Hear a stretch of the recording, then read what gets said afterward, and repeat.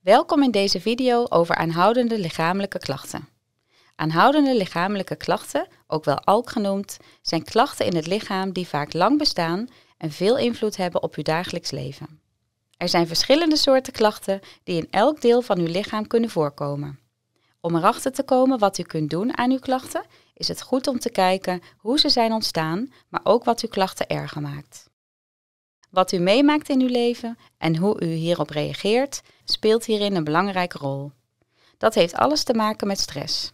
Ons lichaam heeft een slim alarmsysteem dat ons waarschuwt voor een dreigend direct gevaar waar u meteen op moet reageren.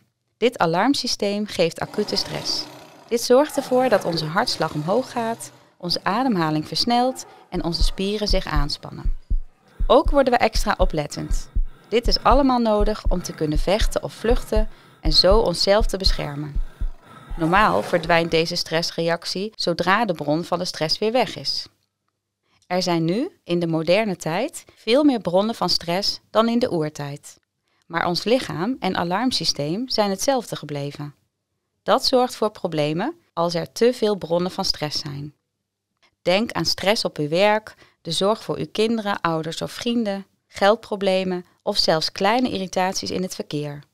Daar komen dan nog grote gebeurtenissen bovenop, zoals overlijdens, ziekten of ongelukken. De stress stapelt zich maar op.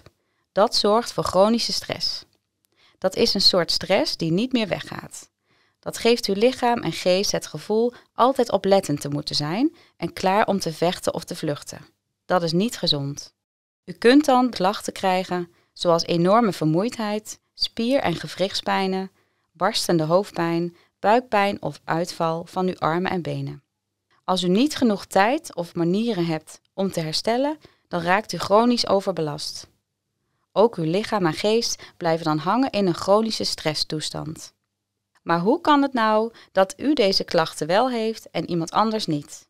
Het is per persoon verschillend hoe iemand met tegenslagen omgaat. Hierin speelt onder andere mee wat iemand heeft meegemaakt in zijn leven. De positieve en negatieve ervaringen laten sporen na in het lichaam en bepalen hoeveel ruimte iemand heeft om met chronische stress te kunnen omgaan. De ene mens wordt soms somber, depressief, de ander krijgt voornamelijk lichamelijke klachten. Aanhoudende lichamelijke klachten komen veel voor. In een groep van 20 mensen krijgt ongeveer één persoon er last van in het leven. Daarbij spelen meerdere biologische, psychologische en sociale oorzaken een rol. Door in te grijpen op al deze onderdelen kunnen uw klachten minder worden. Een zorgverlener onderzoekt eerst in gesprek met u welke behandeling zinvol zou kunnen zijn en wat u nodig heeft om te werken aan uw lichamelijke klachten. We zoeken hierbij samen naar wat ervoor zorgt dat uw klachten blijven bestaan. Zo vinden we een manier om de overbelasting van uw lichaam en geest te verminderen. We kijken eerst naar welke activiteiten voor u prettig zijn. Denk aan bewegen, sporten met anderen, ontspannende hobby's, genieten van de natuur om u heen en het ontwikkelen van prettige contacten met anderen. Hiervan weten we dat het een positief effect heeft en het kan ervoor zorgen dat u minder last heeft van de klachten. Maar soms is meer behandeling nodig. Dan kan het helpen om aan de slag te gaan met fysiotherapie, revalidatie, psychotherapie of medicatie. Met psychotherapie wordt bijvoorbeeld uitgezocht welke bronnen van stress er zijn in uw leven. Daarna gaat u er zelf mee aan de slag. Als dat niet genoeg is, kan behandeling in een specialistisch centrum zoals een CWZ u misschien helpen. Wat voor u werkt is soms een puzzel. Elke behandeling is dan ook anders en kan bij verschillende zorgverleners. Wij, als team van CWZ, zoeken graag met u mee naar de juiste hulp en behandeling.